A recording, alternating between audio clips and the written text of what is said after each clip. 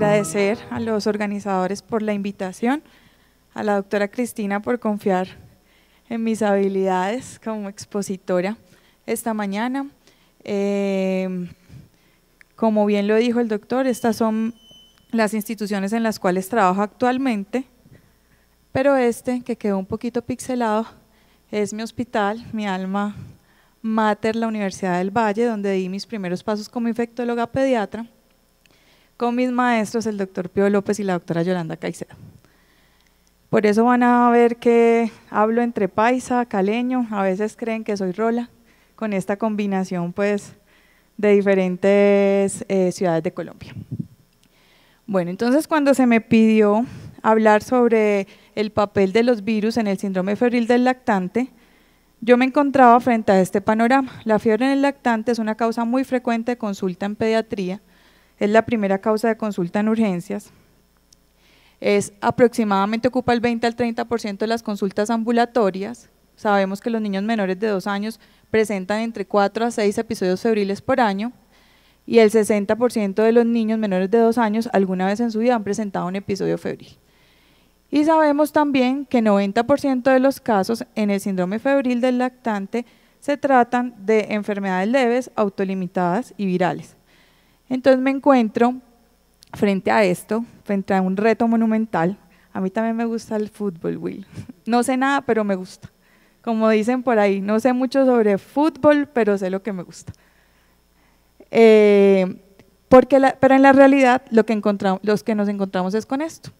Sabemos, porque lo hemos estudiado, que la mayoría de infecciones en pediatría son de origen viral, pero en la realidad nos encontramos con pacientes que tienen excesivo tratamiento bacteriano y con poco diagnóstico y esto básicamente es porque tenemos limitación en el diagnóstico de las infecciones virales.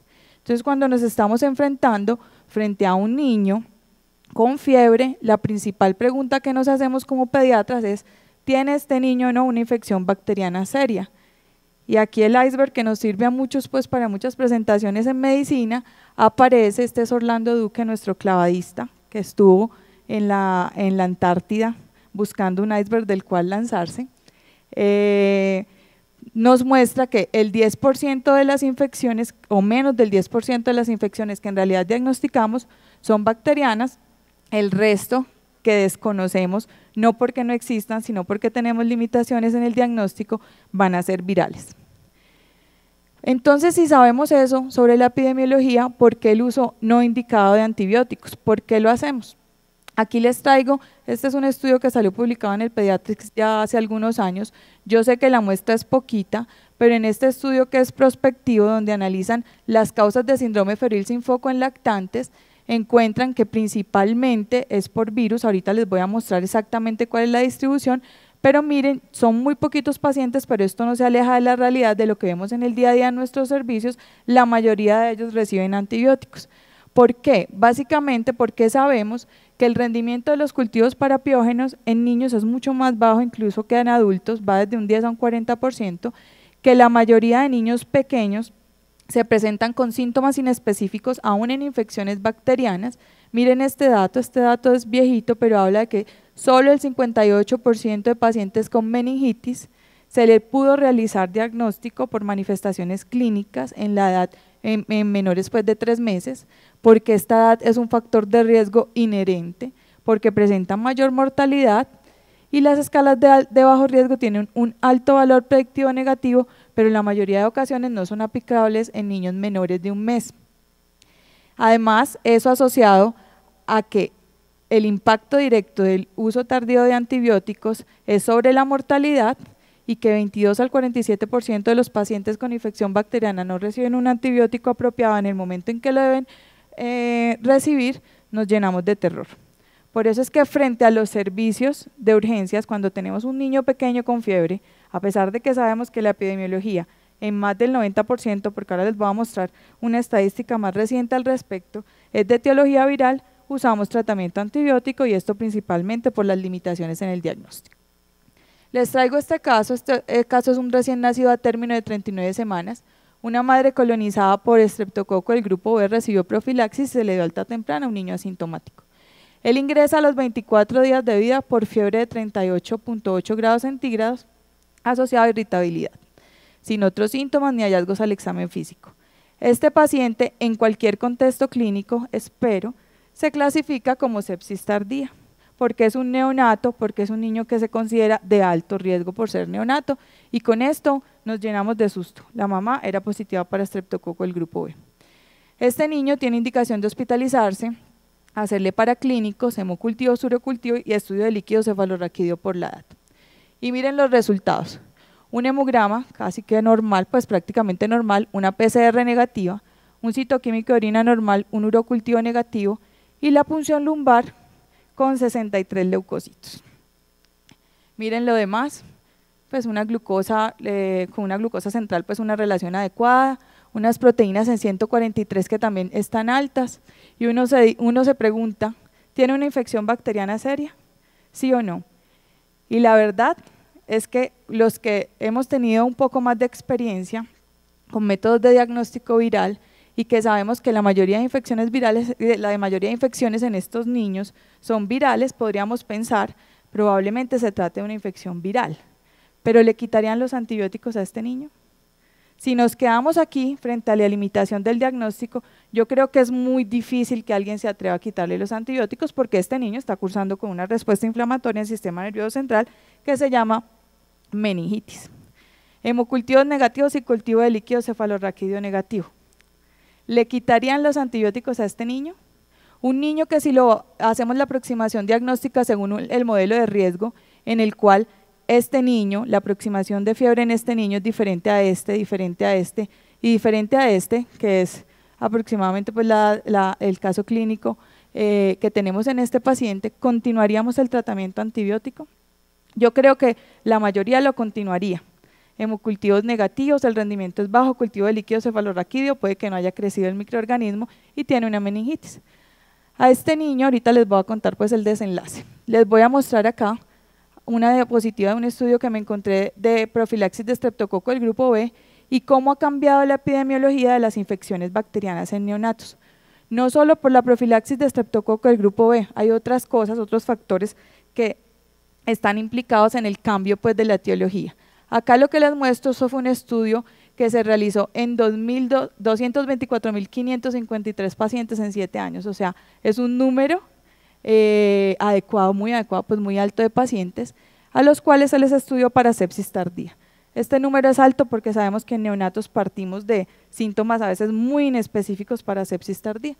Miren la positividad, hemocultivo 2%, urocultivo 17%, la infección urinaria sigue siendo la principal infección bacteriana seria nuestros pacientes y cultivos de líquido cefalorraquídeo 0.9%. Y acá abajo, aquí no se ve muy bien, esto está en otro color resaltado, es la incidencia previa a la profilaxis de estreptococo del grupo B. La positividad de hemocultivos en los niños con sepsis tardía era 30-50% para infecciones bacterianas, 50-60% para infecciones urinarias y 15% para meningitis. Pero esto ha cambiado y nos lo está mostrando la epidemiología. Sin embargo, nos quedamos en esto. Nos quedamos en que un niño neonato con fiebre es igual a infección bacteriana seria y desconocemos o nos olvidamos o nos gusta olvidarnos por a veces el temor que sentimos por las complicaciones y las secuelas que puede tener una infección bacteriana en estos pacientes, que la epidemiología ha cambiado y que los virus son, una, son la principal etiología de infección en este paciente. ¿Por qué es importante el diagnóstico? Porque cuando nosotros como infectólogos hablamos de antimicrobial stewardship, de que vamos a quitar antibióticos, de que vamos a hacer un uso racional, debemos partir de un stewardship de, de diagnóstico. ¿sí? Tenemos que tener diagnósticos apropiados para poder hacer esto adecuadamente y para poder cumplir con la demanda actual sobre el uso racional de antibióticos. Volviendo al caso, este paciente teníamos la disponibilidad de una PCR múltiple de, líquido cefalorraquídeo y el reporte fue un parecovirus humano. Con esto, ¿le quitarían el antibiótico? Sí, claro. ¿sí? Si no hubiéramos tenido esta herramienta, seguramente hubiera sido, este niño se fue a las 48 horas, a las 24 horas para la casa, en realidad era un niño que se veía muy bien. Eh, si no hubiéramos tenido el diagnóstico, probablemente se hubiera quedado entre 10 y 14 días recibiendo tratamiento para una meningitis bacteriana en la cual no pudimos tener el diagnóstico. ¿Por qué quise empezar esta, esta charla mostrándoles esto y por qué estoy hablando de infección bacteriana seria cuando estamos en un congreso de virología? Porque esta es nuestra realidad. Si nosotros no tenemos diagnóstico viral, no vamos a poder saber qué es lo que tenemos y no vamos a poder intervenir tempranamente pues, a los niños que se presentan con síndrome febril sin foco. Parecovirus es parte pues, de los enterovirus humanos, yo no me voy a detener en esto. Quería traerles esto que es una un seminario de perinatología que, hace, eh, que, que habla sobre el síndrome febril sin foco en neonatos y le da importancia a los virus, entre ellos principalmente enterovirus y parecovirus. Enterovirus pueden tener transmisión perinatal, incluso está descrito por lactancia materna como en el caso de Coxsackie. Tiene unas características muy importantes que hace que la transmisibilidad sea muy alta y es que permanece sobre superficies durante muchos días o por lo cual la, transmisión por contacto es muy alta, y tiene excreción prolongada en los niños que se infectan por, enterovirus principalmente. No son nuevos, nosotros tenemos el diagnóstico, digamos la, la, posibilidad de tener diagnóstico molecular mucho más reciente, pero las PCRs específicas se hacen en el mundo desde hace muchos años. En este estudio de Rochester, miren, yo nací en 1981, hace mucho tiempo, que se hicieron cultivos virales durante el primer mes de vida, la incidencia de enterovirus en neonatos era del 12.8%. Y encontraron como factores de riesgo la enfermedad materna reciente, la infección en la primera semana de vida y algunos serotipos como Coxsackie. O sea, no estamos hablando de algo nuevo, es algo que sabemos desde hace muchísimos años. ¿Qué manifestaciones clínicas pueden tener en la etapa neonatal estos virus? Pueden ir desde muerte fetal y malformaciones congénitas que están descritas, infección asintomática en el 79% de los pacientes, infección leve, que este es el que se presentó pues en nuestro paciente, una meningitis aséptica, o también hay casos de, de infección grave de síndrome de sepsis-like, principalmente relacionados a estos serotipos. Otro ejemplo de etiología de fiebre sin foco, este eh, también es durante el primer mes de vida, tomaron 84 neonatos con diagnóstico de fiebre sin foco, sepsis o meningitis encefalitis, 38% fueron positivos para virus no polio en sangre o líquido cefalorraquídeo, 11% positivos para, eh, ecovirus humano, es decir, la mitad de los pacientes con estos diagnósticos, no solo fiebre sin foco, sino sepsis o meningitis encefalitis, tuvieron un diagnóstico viral. Y estamos hablando de neonatos, no estamos hablando pues de, los menores de tres meses. Este es otro estudio de que salió publicado en Pediatrics, es un estudio prospectivo, entre niños de 2 a 36 meses con diagnóstico de fiebre sin foco, excluyeron niños con infecciones respiratorias virales, excluyeron, excluyeron niños inmunosuprimidos y excluyeron los niños que tenían prueba rápida de influenza positiva, por lo cual en este estudio no van a haber tantos niños con diagnóstico de influenza. Ellos, los 83% eh, de los pacientes cumplían criterios de fiebre sin foco, según pues, los criterios de inclusión y exclusión que tenían. Y, los niños que, tuvieron infección bacteriana, que fueron el 27% de los pacientes, lo que presentaron fue infecciones de piel y tejidos blandos, bacteremia, que fue principalmente dos casos de streptococo y otro de estafilococcus aureus, uno, tres niños con chiguela y un niño con mastoiditis. ¿Y qué fue lo que encontraron? Estos fueron los virus que lograron tipificar en estos, en estos niños con fiebre sin foco y miren adenovirus, herpes virus 6, enterovirus, solo estos tres ocuparon el 65% de la etiología de síndrome febril sin foco. Cuando los unimos a todos, la etiología diagnosticada pues, por PCR es mayor al 75%. Hay otro porcentaje que no se logra pues, hacer el diagnóstico, pero tampoco cumplían criterios de infección bacteriana. Miren acá, esto es muy importante y se los, se los recalco porque ellos también hicieron, ellos también buscaron los virus en pacientes afebriles, pacientes que entraron eh, a quirófano a hacerse cirugías ambulatorias y ellos encuentran que también fueron positivos para algunos virus, ¿sí? pero tuvieron diferencias estadísticamente significativas entre los niños que tenían clínica y los niños eh, que no la tenían.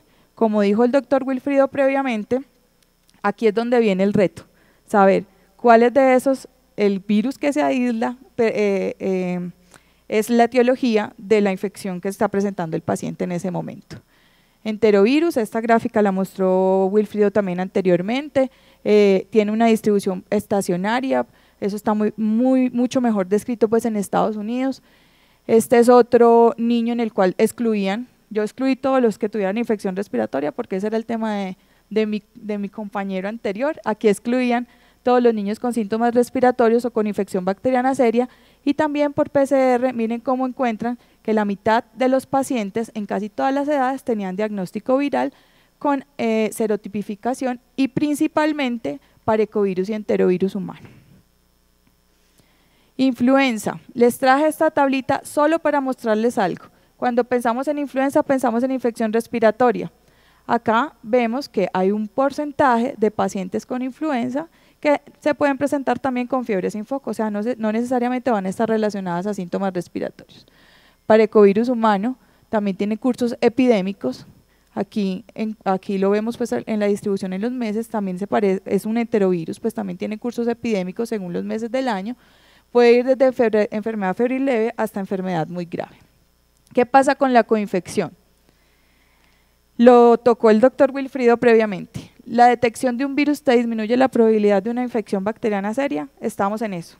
Creo que es el reto actual, es en lo que están trabajando actualmente todos eh, los investigadores que, eh, sobre cuál es, qué es lo mejor para determinar si ese, ese virus aislado te está causando o no la infección y te puede dejar tranquilo frente a la aproximación diagnóstica de una infección bacteriana.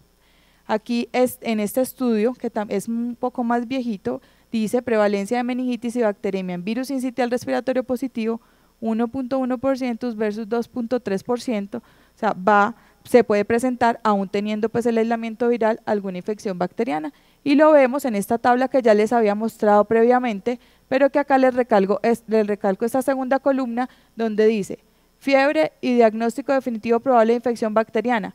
¿Cuántos de esos niños? Son poquitos, la muestra no es tan alta, pero ¿cuántos de esos niños, aún teniendo una infección bacteriana, tenían eh, diagnóstico viral? Y miren esto, que también lo dijo el doctor Wilfrido, pacientes con más de un virus. Pacientes que tenían más de un virus detectado tuvieron acá, ellos, este no era el objetivo del estudio, entonces no tiene, no tiene evaluación pues estadística, pero miren que uno puede intuir que los pacientes que tenían más de un virus detectado tenían mayor probabilidad de tener mayor eh, infección bacteriana seria. Entonces, la infección bacteriana seria en el lactante menor está en vía de extinción. Acá miramos, acá les traje varias referencias en diferentes momentos del tiempo. 1993, 2001 y estas son las más recientes. ¿Cómo se estimaba? Incidencia de infección bacteriana seria en los 90 del 20 al 30% en el síndrome febril sin foco. Incidencia de infección bacteriana seria entrado el año 2000, 10% en los menores de 3 meses, 5 a 7% entre en los niños de entre 3 a 36 meses. Y miren estos estudios cómo reportan incidencias en menores de 3 meses de 0.02 a 0.7%. Entonces va a cambiar la aproximación diagnóstica nuestra frente a un niño con un síndrome febril sin foco. Todavía no sabemos, todavía nos pegamos mucho a las guías. Esto nos está diciendo, estamos tratando muchos pacientes innecesariamente, pero necesitamos pruebas de diagnóstico que sean mucho más específicas para poder tomar la decisión sin el miedo que implica no dar tratamiento antibiótico a un niño con una infección bacteriana. ¿Por qué ha cambiado la epidemiología? básicamente por las estrategias en salud pública, por el impacto en vacunación, esto ya lo han mencionado, en prevacunación bacteremia oculta se presentaban 2.4 a 11.6% de los niños, principalmente por neumococo y hemófilos influenza eh, tipo B, y post-vacunación, desde la experiencia con Prevenar 7, ha bajado notablemente las infecciones bacterianas por estos dos eh, microorganismos y eso hace también después del de, eh, el efecto o el impacto de la vacunación de, otras vacunas como Prevenar 13, que eh, encontremos estas cifras. Sí, que la infección bacteriana seria, que previamente era causada por neumo y por hemófilos influenza tipo B, con la vacunación haya caído tan notoriamente. Entonces el resto, virus, y nuestra preocupación de no tratar a tiempo una infección bacteriana seria, ¿Cuál es el papel de las escalas de bajo riesgo en la era postvacunal? Aquí también creo que le estamos debiendo mucho a la investigación. Tenemos escalas, eh, la escala de Rochester, escala de Filadelfia, que usamos para el síndrome febril sin foco, que están validadas en la era prevacunal, la mayoría de ellas. Tenemos que validar estas escalas en la era postvacunal. Este estudio que les pongo acá donde evalúa la estrategia step by step, que aquí les estoy trayendo cuáles son los criterios básicamente de esto, muestra que eh, la compara también con otras escalas de riesgo usadas anteriormente, que si bien tienen un valor predictivo negativo bueno, la especificidad en la era postvacunal es muy baja y al tener una especificidad tan baja lo que hace es que sobretratemos los pacientes con infecciones virales. ¿Qué pasa con la aproximación terapéutica si llegamos a tener unas mejores escalas de diagnóstico? ¿Cómo me devuelvo esto? Miren esta recomendación. Si sabemos que la tasa de bacteriemia por neumococo es menor de 0.5%, no requeriríamos ni hemograma, ni hemocultivo, ni antibiótico empírico. No es costo efectivo. Pero tenemos que saber esto y tenemos que tener mejores pruebas de diagnóstico para poder hacerlo. ¿Cuáles son las novedades en el diagnóstico? Entonces hay expresión de patrones genéticos o biosignatures, perdonen ahí el inglés, pero lo que hacen estas pruebas, que, son, que es lo que está pues, en boga y lo que está liderando actualmente el diagnóstico para definir cuando, cuando un paciente con fiebre se presenta con una infección viral o bacteriana, encontramos que estas pruebas, aquí hay dos de las, de, las publicaciones pues como, como líderes en este tipo de, de tecnología, tienen, cuentan con sensibilidades y especificidades pues muy buenas y lo que buscan es mirar cuál es la, expresión de patrón génico del hospedero frente a las infecciones. O sea, ya no voy a diagnosticar los virus y bacterias que tengo, sino cómo mi cuerpo está respondiendo frente a una infección determinada y esto nos quita el dolor de cabeza de ese virus es el que está causando verdaderamente infección o no. Acá no me voy a detener en esto, esto parece como un cuadro de impresionista, pero esto, en este, ah, lo pueden leer, no es tan difícil pues de entender. Aquí tienen los controles. Cada una de estas columnitas se trata de un paciente sin infección bacteriana y cada una de estas columnitas con infección bacteriana.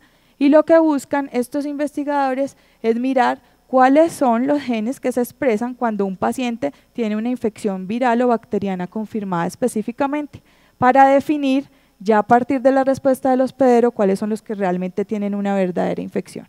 Estos azulitos son genes no expresados, los rojitos son genes expresados eh, en mayor, pues con una mayor expresión y así logran hacer como una impronta. Este estudio que muestra varios eh, métodos para definir cuando un paciente tiene una infección viral o bacteriana, compara PCR, interleuquina 6, procalcitonina y esto de lo que les estoy hablando de los, eh, de los patrones de expresión génica. Y miren acá cómo hay, eh, estos es la, los valores en infección bacteriana, los valores en infección viral, y lo que nos muestran estas gráficas es la diferencia, o sea, entre más alejados esté es porque es una mejor prueba para poder definir entre infección bacteriana y viral. Miren cómo se comporta la PCR, miren cómo se comporta la procalcitonina, esta es la mediana, los punticos rojos, esta es la distribución de los pacientes. Hay unos pacientes que se comportan muy bien para definir infección bacteriana viral, hay otros que definitivamente se comporta igual para definir una infección bacteriana viral. Pero miren qué pasa con las medianas en este tipo de tecnología. O sea, con esto logramos determinar específicamente si se trata de una infección viral o una infección bacteriana y esto nos quitaría el dolor de cabeza, Will. Estas son las variables operativas ellos en este artículo lo pueden ver para, cada, para algunos virus, este es para bacterias atípicas, micoplasma, principalmente legionela. ¿sí? Como, miren acá, las primeras columnas corresponden a la, a la respuesta génica, ¿sí? cómo tienen variables operativas, esto es sensibilidad, especificidad, mucho mejores aún en bacterias atípicas, miren en virus incitial respiratorio, miren en influenza y miren en adenovirus.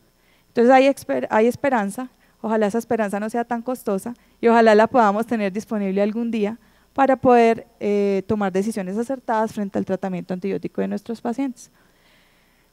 Traje esta foto, esta foto ha dado la vuelta al mundo, yo les quería contar, esta foto la tomó un colega mío, Juan Gonzalo Mesa, cuando rotó en Ohio, en Columbus, y siempre lo molestamos pues porque la foto se le volvió viral, es de una enfermera que trabaja allá en el hospital de Columbus. Fiebre no es un signo de deficiencia de ceftriaxona, que es lo que hacemos o lo que hacíamos eh, comúnmente según las guías en los niños menores que tenían, eh, cuando se presentaban con síndrome de sin foco, que tenían mayor eh, riesgo de tener una infección bacteriana y nos toca dar pues tratamientos empíricos hasta tener resultados de antibióticos.